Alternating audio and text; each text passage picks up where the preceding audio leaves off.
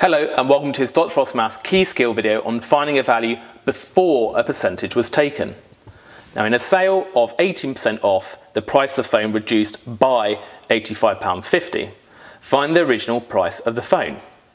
Now we're told that we had 18% off at 18% reduction and we're also told that reduction was £85.50. So the 18% of the value of the phone was equal to £85.50 and we need to find the full value of the phone, the original price, which is 100%. So how do we get to 100% of the value of the phone? Well, we could go via 1% if we wanted.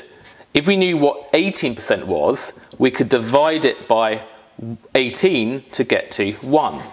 So if we divide this value, £85.50, similarly by 18, we get £4.75.